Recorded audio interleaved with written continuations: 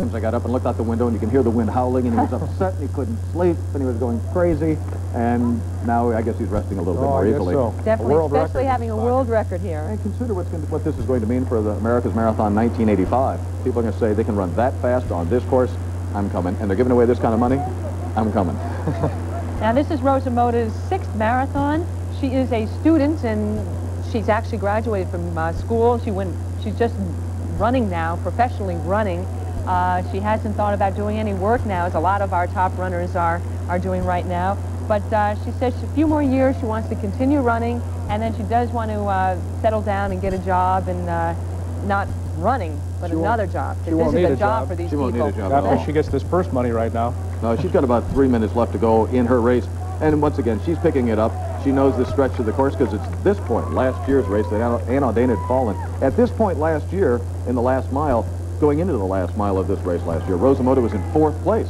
She had to pass not, not only Dorthe Rasmussen, who's in the race again today, and Jackie Gareau, who are running in front of her, in second and third, but then go on and get the stricken and fallen Ann Audain. So Rosa Mota is very comfortable with this sort of, this area of the course because it's where she won the race last year. Totally different race this year. All by, she She's was in out front. control. She was in control of the She race very early on. wire, didn't she? Uh, Ingrid Kristiansen was there for, For a uh, while. a good part of the race, the they, were first part. they were together for a while. Boy, we in race. can we can hear these crowds now. We can really hear these crowds going. And I've said it before, Tony. You've heard me saying it. Where else but in a marathon can you get a standing ovation for three hours, four hours straight? Even Frank Sinatra can't get that.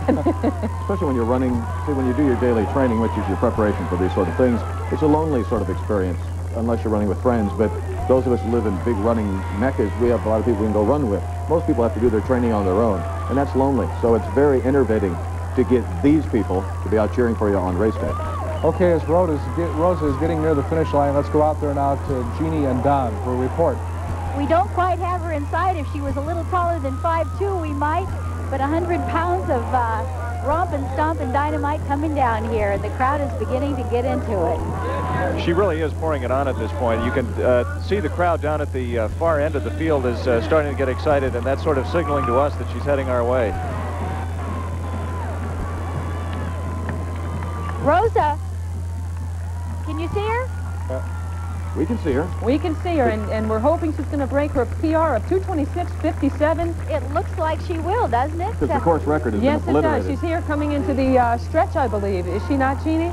Yep. Yes, yeah, there we she is. we now. can see her now. Of course, the course record she is blowing uh, right now, which was 231.12. She's got to pick it up a little bit to make it, I would think. Yeah, She got to lift those knees.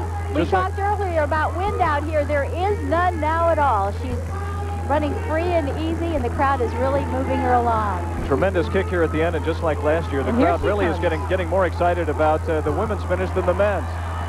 Tremendous kick at the end. And she is, she is, She, she looks is, good. She looks wonderful. she is breaking her cour her course record. She's breaking her PR. 226. 226.02. 226.02 unofficially for Rosa Mota. And, she looks great. She's smiling. smiling. She's jogging down.